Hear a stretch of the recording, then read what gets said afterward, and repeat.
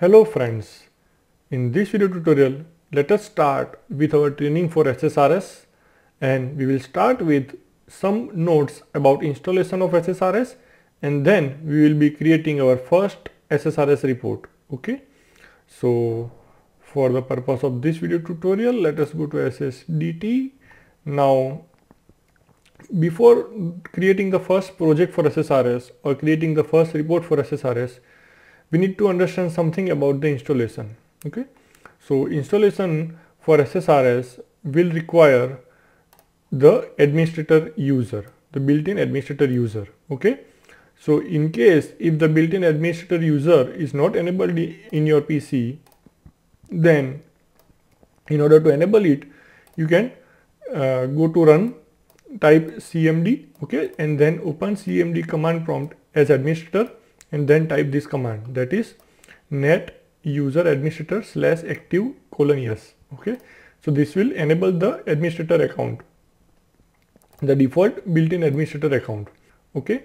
Now once this administrator account has been enabled you go and change the password for this account and then you install your SSRS using this administrator account. Okay? So now once the installation is done you can go to SSRS reporting services configuration manager okay? So once you go to reporting services configuration manager then we will understand these options in detail in some future video. But in this video tutorial let us understand two things.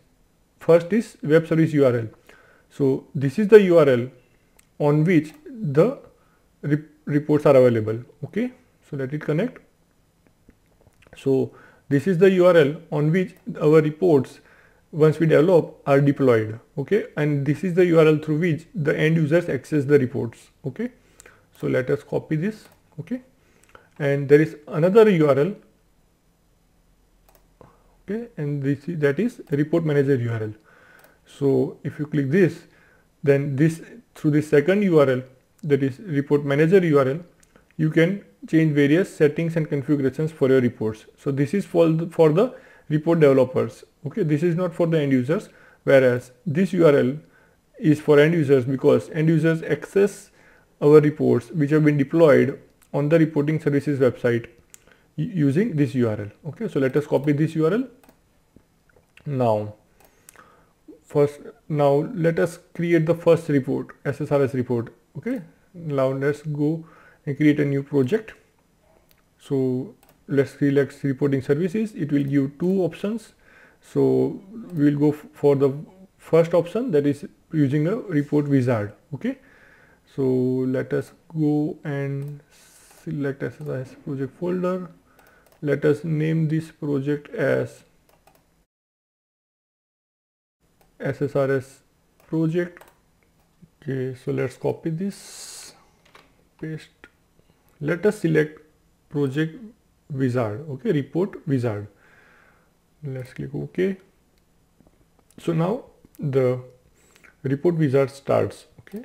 So let's click next. Let us first of all to connect to database okay we will require a data source.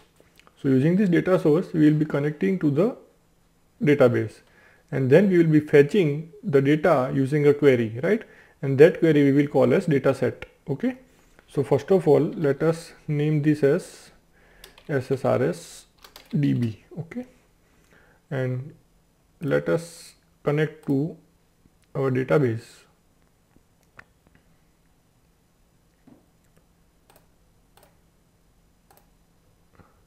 Ssrs db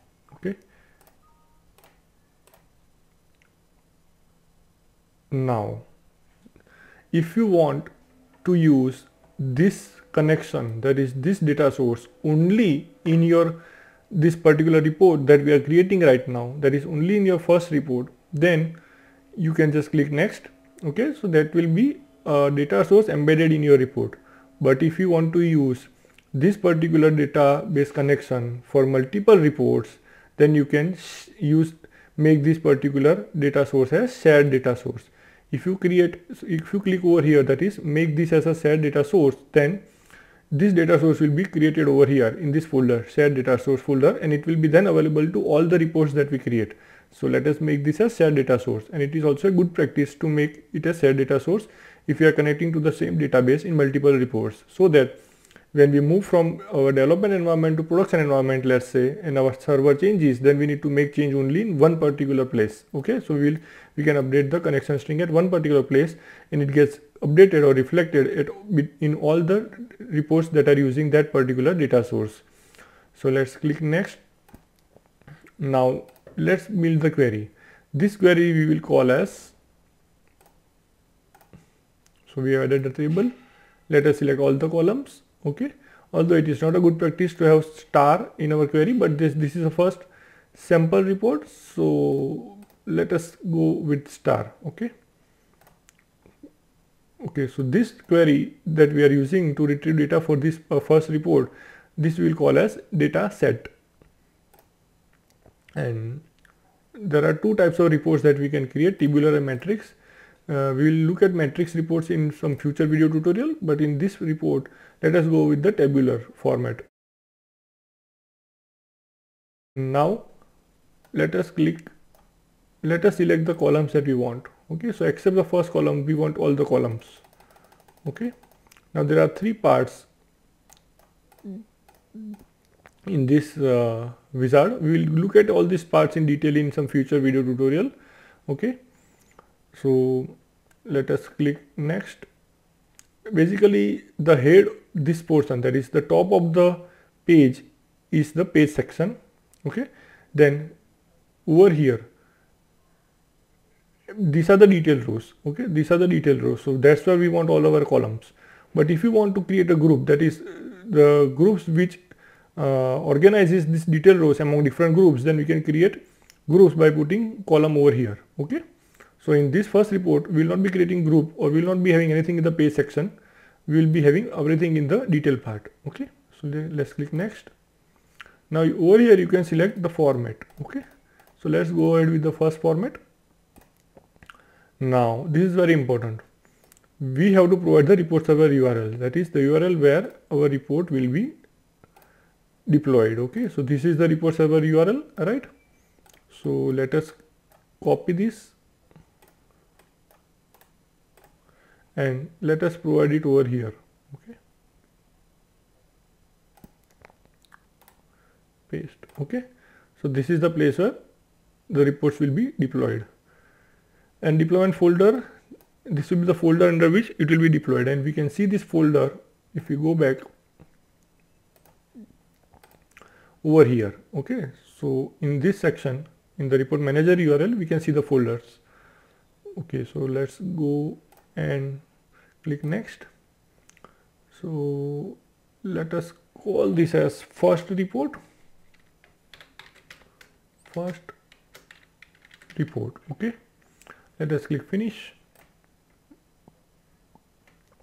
Okay.